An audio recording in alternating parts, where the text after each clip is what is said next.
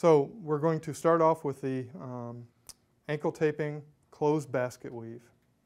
First thing we're going to do is point out the landmarks. We're going to uh, make sure we know where the base of the calf is. Make sure we know where the medial malleolus and lateral malleolus is. And also where the base of the calf or base of the fifth metatarsal is. So the first thing I'm going to do for demonstration purposes, I'm not going to spray this, but this is tough skin. We're just going to um, assume we're going to spray that on there. In actuality, we would if we were actually taping the ankle.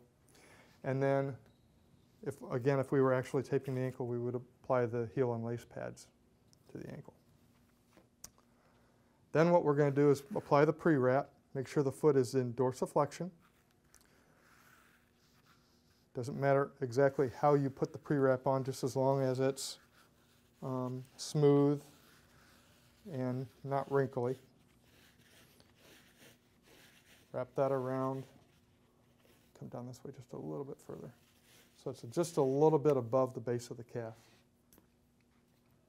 Our first roll uh, tape application is going to be the anchors, and that's going to be at the base of the calf.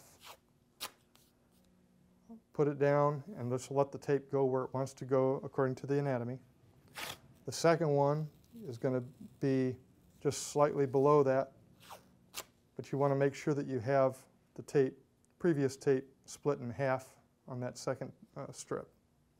Then we go on to the stirrups.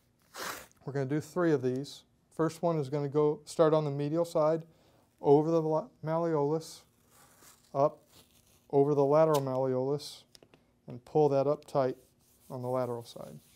Everything we do is pulling to the lateral. Second strip is going to split that first strip in half again, come down, cover the same area on the foot that the previous strip went, and then split that again when we get on the lateral side. Third strip is just the opposite of that. Starting below, split it in half, come over the top of that, and then fanning that again when we get on the lateral side. After that, we're going to apply another anchor to hold those stirrups down, and then move on to the horseshoes.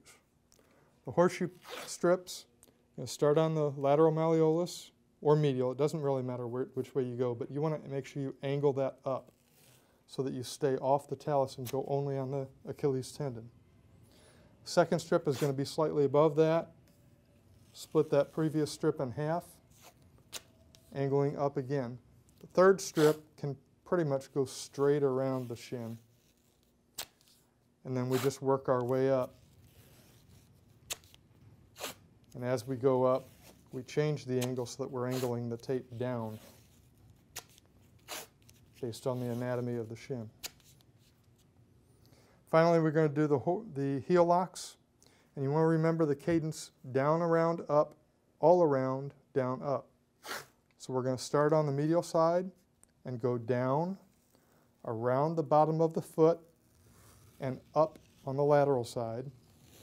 Go all the way around the shin, down on the medial side, and up, staying off that lateral malleolus. Everything we do, we want to stay off that fifth metatarsal.